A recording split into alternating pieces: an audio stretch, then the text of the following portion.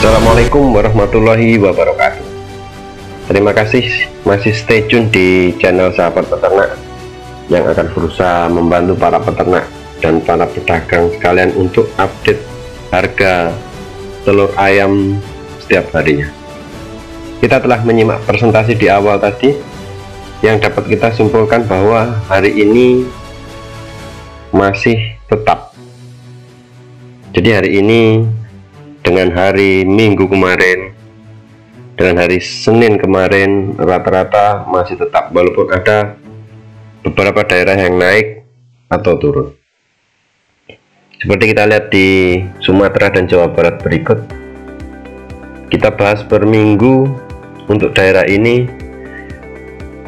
sudah tetap sekitar tiga harian. Lampung sudah empat hari bahkan Palembang hampir seminggu tetap. Bogor, Sukabumi, Cianjur, Bandung, dan Ciamis rata-rata juga tetap 2 sampai 3 hari. Ini menunjukkan bahwa tren harga di atas masih berlaku untuk minggu ini. Jadi seminggu ini eh, para peternak sekalian masih menikmati hasil telurnya dengan maksimal. Selanjutnya kita bahas grafik mingguan harga telur ayam di Jawa Tengah.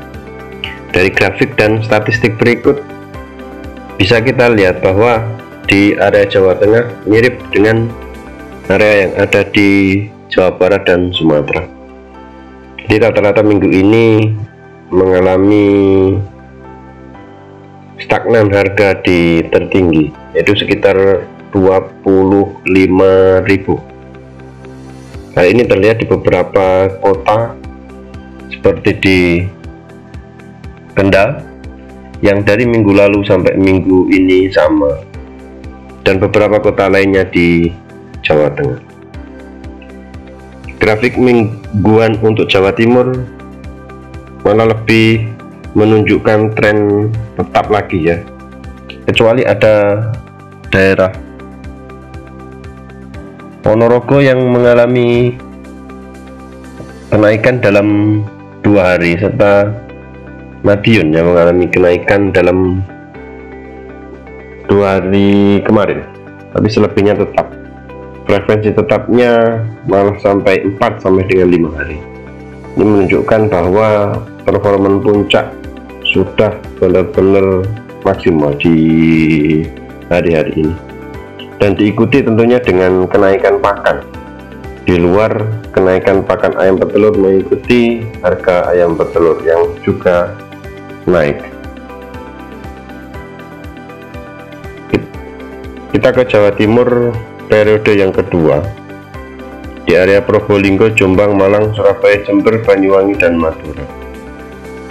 Sama dengan Jawa Timur yang pertama tadi area ini cenderung tetap walaupun ada dua area yaitu Banyuwangi Jember yang mengalami fluktuatif harga.